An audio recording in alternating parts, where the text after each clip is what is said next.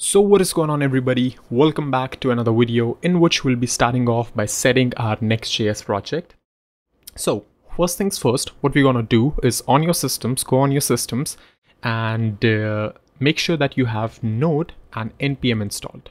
And I'm assuming that you are a React developer, you have some sort of experience with React, so you should have that by default.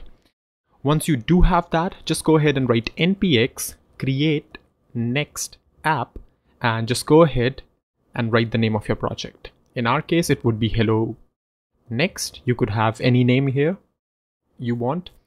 And the next thing is I'm going to pass in a flag called dash dash use npm.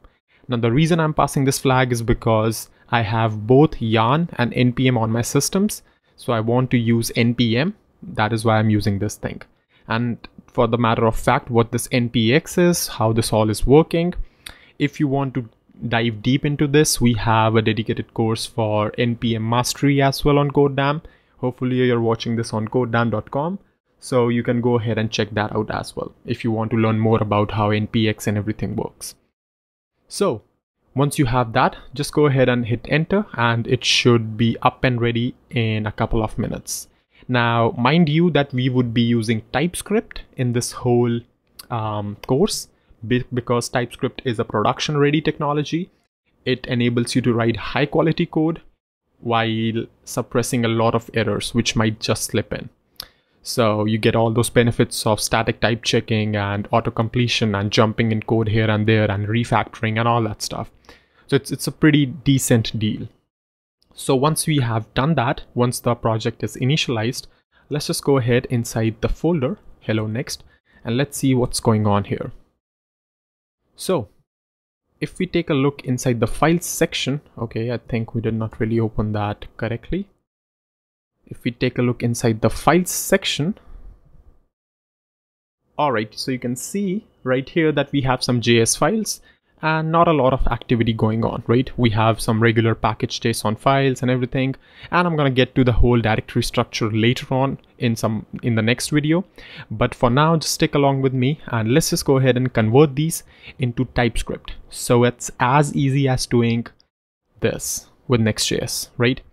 Just make sure your extension is .tsx for the files which actually use JSX and you could go ahead and keep it .ts for the files which are you know just pure TypeScript or just pure JavaScript right? Once you do this it should be enough. Now if you're coming from a TypeScript background you're gonna immediately notice that we do not have a tsconfig.json here. But the thing is that Next.js can automatically take care of that. How awesome is that? So I'm just gonna go ahead and create a file called tsconfig.json I'm gonna keep it empty this would be handled by Next.js. We don't have to really uh, mess around with initially at least. And what I'm going to do is we can see that we just have three dependencies at the moment, Next, React and React DOM. So what I'm going to do is I'm going to install a couple of more, which would enable us the type support and all the nice features of TypeScript. So I'm going to install TypeScript right here. I'm going to install the node types, which is going to enable us to write server-side code and I'm gonna install the React types, which is going to give us autocomplete on the client-side code for React. And I'm gonna save this as save dev because these are dependencies which we don't really want on production because on the production Next.js would automatically be, you know, compiled down to JavaScript and all that good stuff. So once you do that, we are basically done to see our hello world. Now you might see some of these errors, but don't worry about them. These are all false positives they would be all rectified once we fill up this tsconfig. So to do that, we're going to go ahead and write npm run dev, which in turn is going to go to package.json and see that we have a dev script, which is going to run next dev.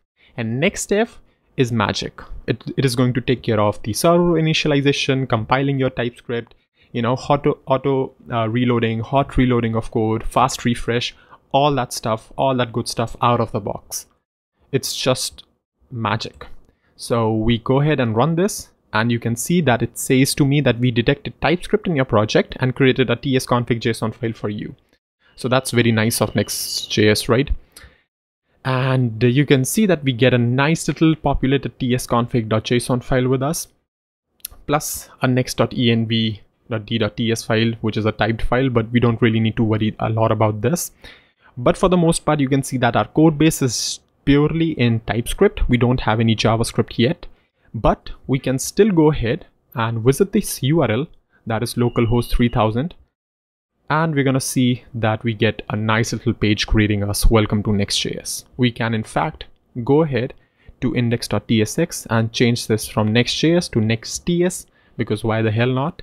And you can see without even reloading with the help of fast refresh we get immediate update to our page so we're going to explore a lot about what these technologies uh, what what sort of architecture next.js follows and uh, what's actually happening in the main app itself but for this video, I think this should be enough to get you started with Next.js. Hopefully you were able to follow along till now.